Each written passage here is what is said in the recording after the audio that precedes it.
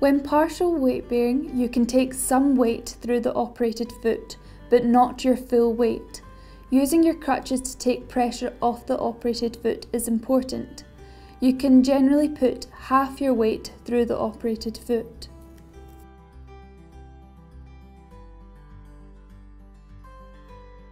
After your operation, you will need to keep your operated foot in an elevated position for two weeks. Toes should be above nose level and during this time you should only get up for essential tasks.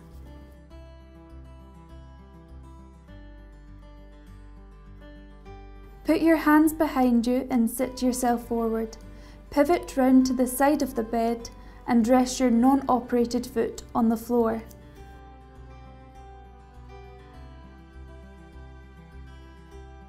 After your operation, you will be provided with a set of crutches, which will be important when you need to get up and move around. When standing up, your crutches should hang around your wrist like bangles. Push up from the bed into standing position, bearing in mind not to put your full weight down through your operated side. Take one crutch up at a time to help steady yourself when upright, ensuring that both crutches are facing forward. Finish by standing with both crutches out in front of you with your operated foot gently placed on the ground.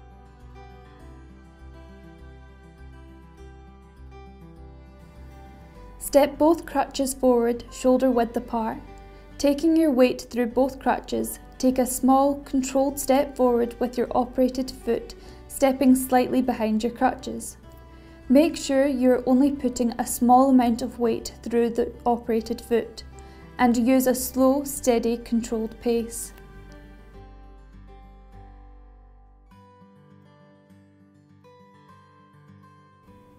When turning, keep your crutches slightly ahead of you, shoulder width apart, and rotating at a slow and steady pace.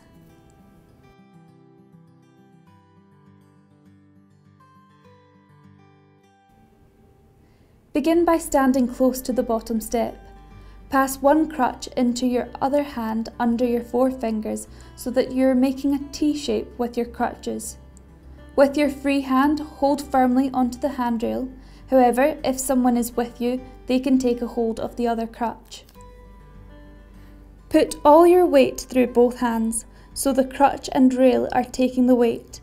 Then with your unoperated leg, take a step up followed by your operated leg. When stepping up, remember to put as little weight as possible through your operated foot. Then bring your crutch up to the same step and continue this process for each step.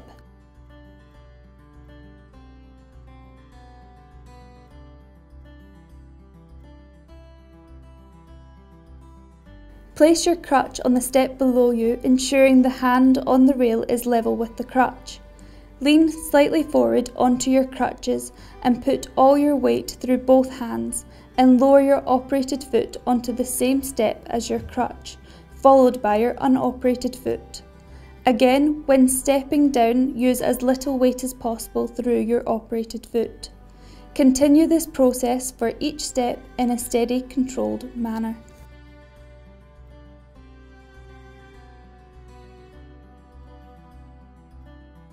Begin by standing close to the bottom step. Put your weight through both crutches, then step up with your unoperated foot, followed by your operated foot, and then your crutches. When stepping, use as little weight as possible through your operated foot and continue this process for each step.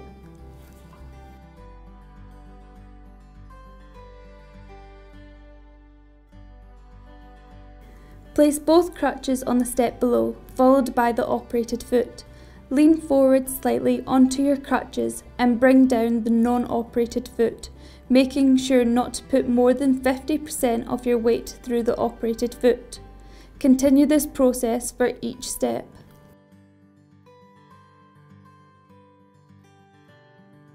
Stand close enough to the chair so that it's touching the back of your leg. Let your crutches hang round your wrists like bangles and reach your hands back for the arms of the chair. Then slowly lower yourself down, ensuring your operated leg stays out in front.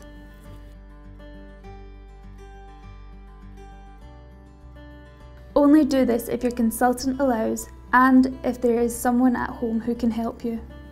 When putting a moon boot back on, gently place your foot back into the moon boot and make sure your heel is pushed right back into the inner sock. Also ensure your foot is flat against the sole of the boot. Once that's done, fasten the inner sock from the bottom up, ensuring it is tight, secure and comfortable.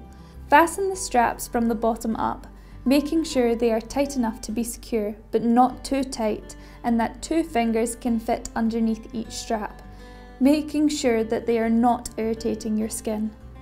If you feel the straps are rubbing, there are foam inserts available. If someone is at home with you, they can help with this.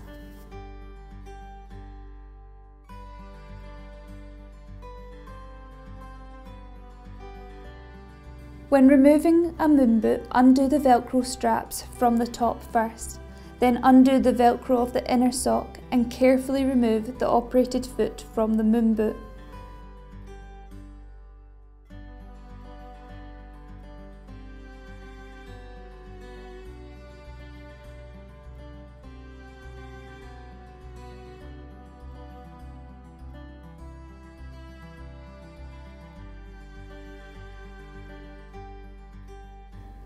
As explained at the beginning of the video, it is important that your foot is in strict high elevation for two weeks following your surgery.